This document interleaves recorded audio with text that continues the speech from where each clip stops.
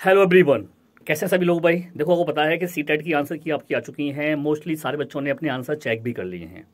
अब एक बड़ा, एक क्वेश्चन दिमाग में आ रहा है बच्चों के। क्वेरी भी आ रही है हमारे पास, सर, कि नॉर्मलाइजेशन लगेगा तो क्या होगा? या फिर, सर, हमारे सेफ़ स्कोर कितना है हमारे पास होने के लिए, जिससे हम सी में पास हो जाएँ? तो बच्चों, मैं आपसे कहना चाहूँगा कि देखो यार, अगर आप लोगों, ठीक है हंड्रेड प्लस स्कोर लेके आए हैं, ठीक है तो बिल्कुल सेफ़ स्कोर है। ध्यान से समझिएगा, क्योंकि नॉमिनेशन लगेगा अभी ना अगर तो आपका वहाँ पर तीन से चार नंबर का डिफरेंस आ सकता है। ऐसा नहीं बहुत बड़ा डिफरेंस आने वाला है आपके इसको लेकर के।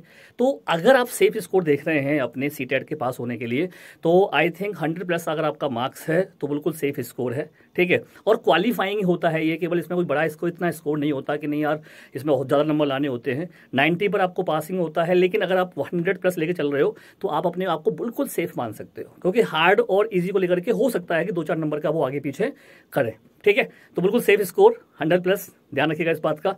और आप जुड़े ये टीचर सड्डा के साथ। क्लासेस प्रॉपर चल रही हैं। ठीक है? Thank you bye bye take care take care